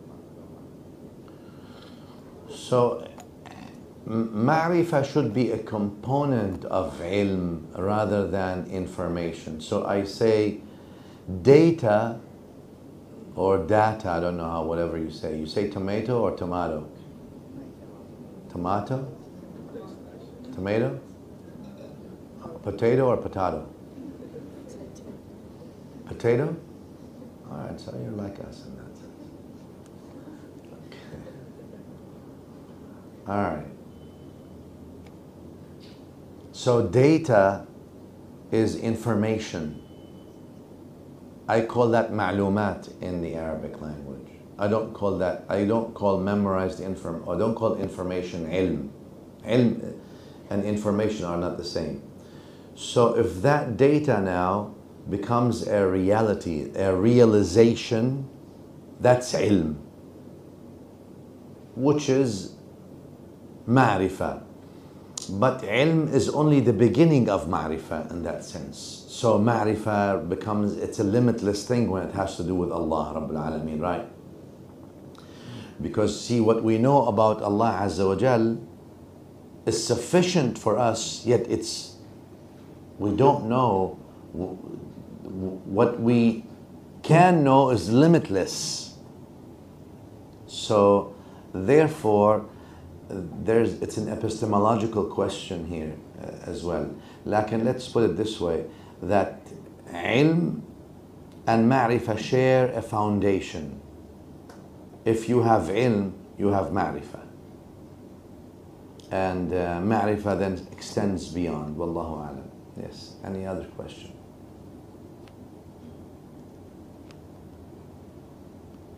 Hmm. Yes, sir.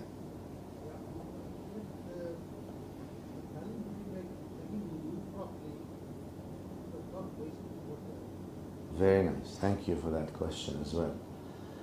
So, again, part of the amana is that you do things right, we said, correct? You apply yourself correctly. That's amana. If you don't apply yourself correctly, that's not amana. How do you apply yourself self correctly when you're making wudu? Do you waste water? No, you don't. What if you're doing wudu from a running in front of you a running river? Do you still waste water? No. That defies amana. And that's in the prophetic hadith. That you do not waste wudu. Sallallahu alayhi wa sallam. You don't waste the water. Even if you're doing wudu in front of you, or there, there's in front of you a running river. Waste is contrary to amana. Any waste, waste of time, waste of your youth, waste of your skills, waste of your energy, misapplication of anything is contrary to amana. Amana is basically doing it right. So it fits in that concept. So wasting time, wasting sorry, time and wasting water is contrary to amana. So train yourself, right? I I hear my children going to make wudu and I can hear the water in the bathroom gushing. I can see it's like they're opened it like the, the max, maximum effect, right? And it bothers me. So I, they'll hear my voice. Lower, lower that thing down, down, down, down. Let it just be just a little bit, and learn how to fill your, to fill your hands. Actually, just fill your hand properly. And say Bismillah, for example, right? Rather than just the water is just, it's gushing at your hands. That's not the sunnah, right? I mean, we used to be able to, I think, exercise. We did, obviously. Can we do wudu with this water, this water here? Yeah, I can.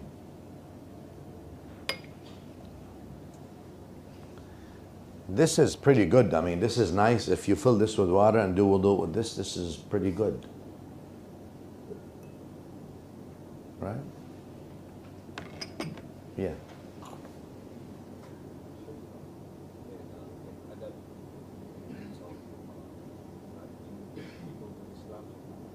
Can adab be? Akhlaq, can, can akhlaq invite people to Islam? Akhlaq is how people come to Islam. You know, people don't, people called the Prophet as-sadiq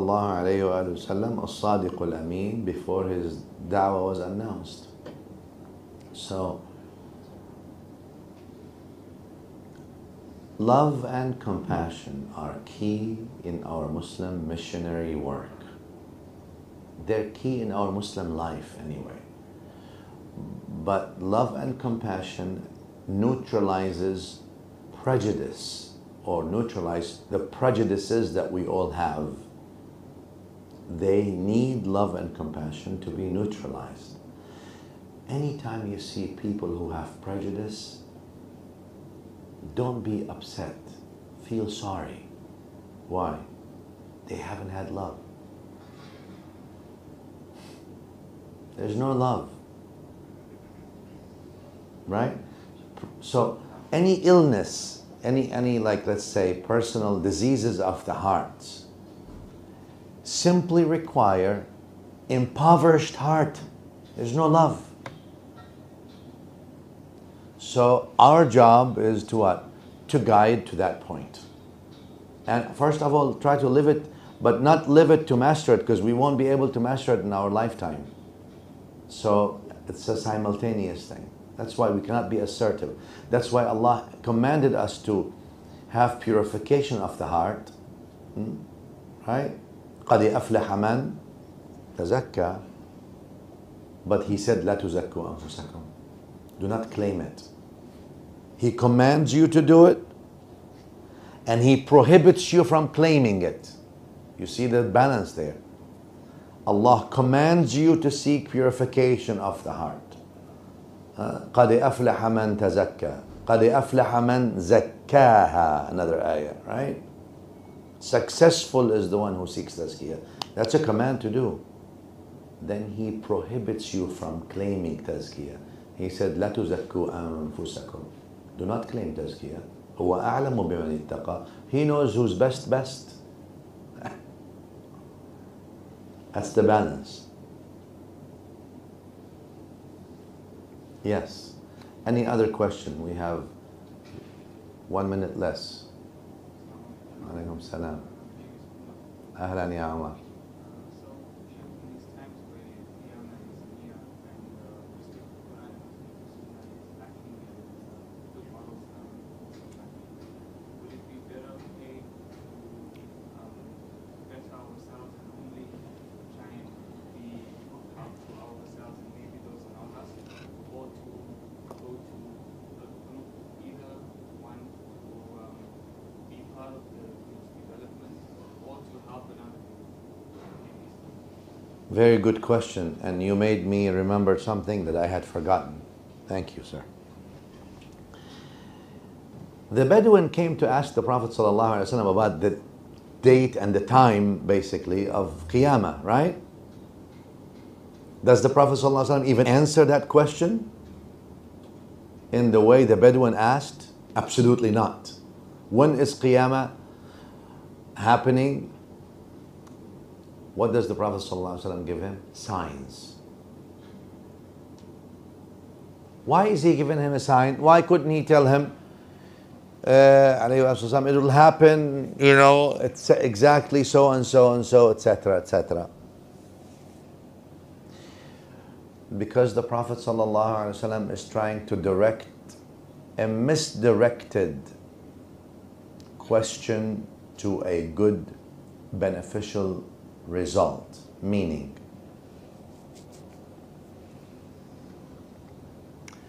so if I tell you Qiyamah will happen in 231 years, uh, five months, three weeks, and two and a half days, how will that make it a difference? Or I tell you after 1,500 years, versus what do I tell you? Like the other hadith, when the another one also, uh, also a Bedouin, came to the Prophet ﷺ and told him, Ya Rasulullah, when is the day of judgment? Mata sa'a. Exactly the same wording, kind of. What does the Prophet ﷺ respond to him? وَمَا أَعْدَدْتَ لَهَا What have you prepared for it? So the question, notice the wisdom of the of the answer. The wisdom of even if the the question wants something specific to be specific, but the answer can only be something that is beneficial. For maybe there is no much benefit in giving you a specific date and time, but the benef- benefit is if amana is lost, which means what? What is the Prophet ﷺ telling him? Go work on amana. Behave in an amana way. Spread amana. Live amana. For so long there is amana, there will be no qiyamah. Once there's no more aman, once there's no more amana, that's when qiyamah will happen. So long there's people still carrying out their amana, there's no qiyamah. What is that doing? That's action rather than information. Notice again, right? We've moved from information to realization. Information, date so and so, date so and so. That's information. That's not important. What have you prepared for it? Or if the amana is no more there, that's when qiyamah happens. That's now realization. You make sure you uphold amana. Otherwise, if you don't uphold amana individually, your qiyamah has already been called. And your qiyamah happens on only the. Qiyamah happens on the worst. So, if you individually lose your amana, then your, your qiyamah has been called already. All right? So the answer needs to be what? Something beneficial. Right? People always ask, Sheikh, we need, I mean, in the old days, now they learn not to do that. Even if they do, I just ignore it yani, in that sense. We need to have a, a whole 10 days, some seven days about eschatology, alamatus sa'a. So I, please Sheikh talk to us about the beast and the Mahdi and the Isa, how, will- how will he descend? Will he parachute down? Or alayhi salam, or will it be like, you know, a jet coming down? Which white minaret? Uh, will we, you know, how is he gonna pray? Uh, uh, Imam and the Salah, will he do it the Shafi'i way or the Hanafi way or the Maliki? You know? So everybody says no, when he comes, he will follow the madhab of Imam Abu Hanifa or madhab. And tell us, Mawlana Sheikh, tell us about the uh, all these things. And verses, the Prophet ﷺ, as you see in the Quran and in the Sunnah, he puts the signs and he asks you what? It's not about the signs. The signs is so that you take note so it can be trans- translated into action. What are you doing about it? What difference does it make to you if the Mahdi comes or doesn't come, or Isa wasalam comes or doesn't come? If Isa Mahdi they come, let's say, will that alleviate you from the following of the Quran and the Sunnah, or will it will it still you still have to follow the Quran and the Sunnah? It's just a sign for you to remember I need to focus on what I need to be doing rather than waste the amana of time Allah gave me. So therefore I'm not a fan of, of, of, of expansive eschatology in general, especially if it's beyond Quranic and authentic Sunnah, to be honest with you. Right? Because I look at the Quran, and you need to look at the Quran as students of knowledge thematically thematically. How so? How many times does the Quran speak about the signs of the day of judgment versus the day of judgment? Is that an emphasis? Yeah. If Allah emphasizes something, He mentions something one time and He mentions about Yawm al Qiyamah and, and how to prepare for it all throughout the book. Guess what the emphasis is? Quranic emphasis. Are we on the same page? So that's one. So what do we do? You do, first of all, you start with yourself and you also do it with others. Self and others. Self and others. I don't believe that we're in a time where we can, like I say, remain spectators. We have to be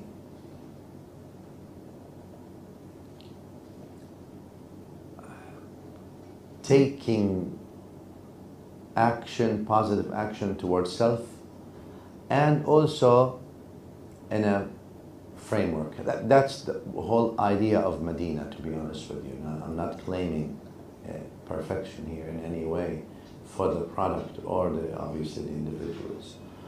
But the idea is to have a platform through that's open, through which you can positively contribute and also shape shape the, the, the direction as you go. But it takes firm leaders shape directions. Believing in the cause, assertive, and not intimidated. Because the mission is bigger than all of us. So then you can shape it and move it forward to be more, more prophetic more prophetic or closer to the prophetic standard as you can.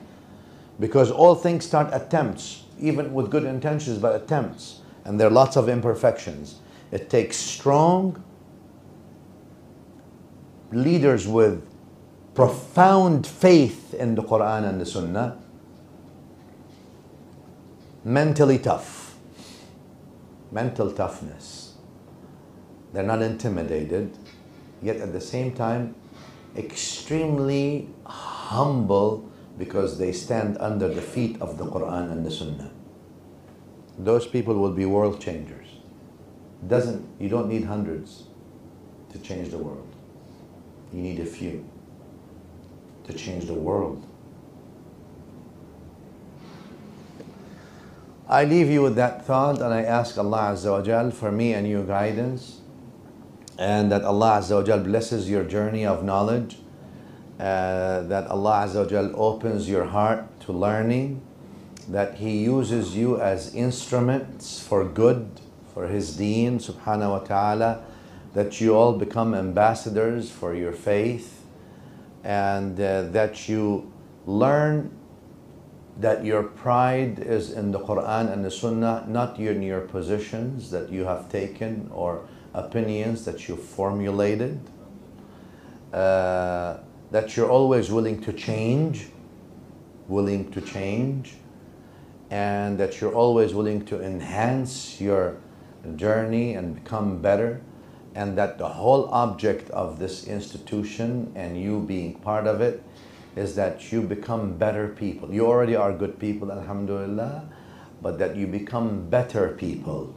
If that is not happening, there's a problem. So may Allah Azza wa Jal Grant us all that, protect you all and your families, and bless you all and your families, and bless Madina and everyone associated with Madina, their family, their children, anyone who puts in anything, even dua, may Allah bless them, bless their children and family. صلى الله على سيدنا محمد وآله والحمد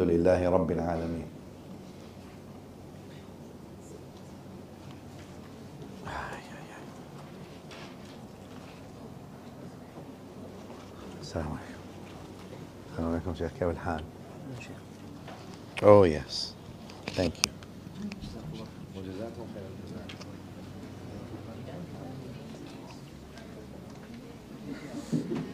Assalamu alaikum wa rahmatullahi wa barakatuh. Inshallah, the Sheikh will be at the Masjid Tuba in Panorama tonight.